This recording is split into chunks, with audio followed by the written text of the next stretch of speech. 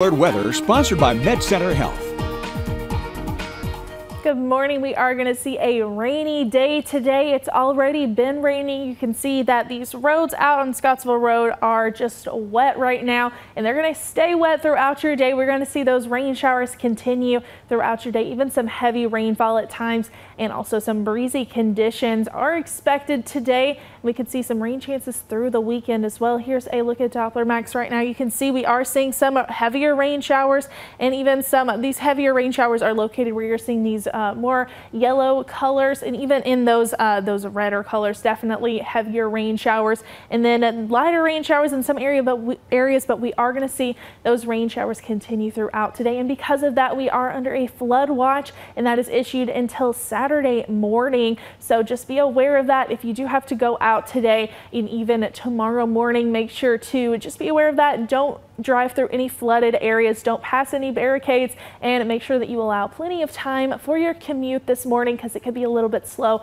as you head out because of those rain showers and because of the traffic as well as a couple of flooding flooded areas that could be potential uh, throughout your commute. Here's a look at what the, these rain showers are going to look like over the next few days. We're going to continue to see some more rain showers throughout your morning, even into tonight, still seeing those widespread rain chances continue even into Saturday as uh, the remnants of Hurricane Helene start to uh, join together with an upper level high or an upper level low, excuse me. We will see even more rain showers throughout your Saturday. They're going to start to become a little bit more scattered as we get into Saturday night and into Sunday. We still could see some more rain showers, even maybe a couple of thunderstorms are possible, but they're going to be more of a scattered. Uh, they're going to be more scattered instead of these widespread uh, storms and also rain showers that we're going to be seeing throughout your day today and even into Saturday. And again, that is all due to Hurricane Helene. It is now a tropical storm, but it did hit the coast of Florida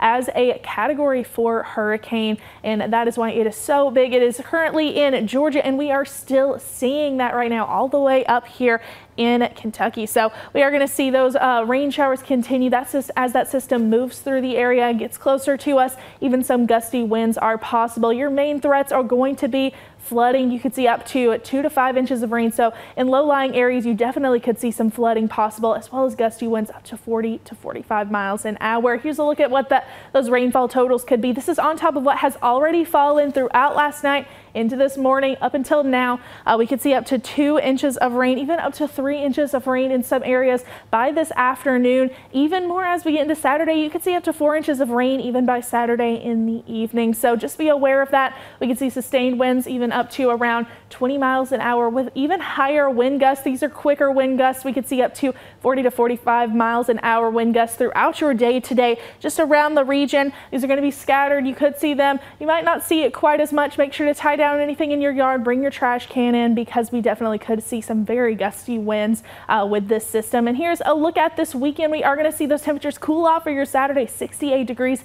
and 72 for your Sunday. So it's definitely going to be fall-like for this this weekend with, um, again, those rain showers that will continue and rain showers even continue into Monday. You might see a couple of isolated rain showers for your Tuesday as we start to see those temperatures start to warm up 80 degrees and then they're going to cool off a little bit more. We're going to see those temperatures stay in the 70s for Wednesday and Thursday as you see nice, beautiful, mostly sunny skies.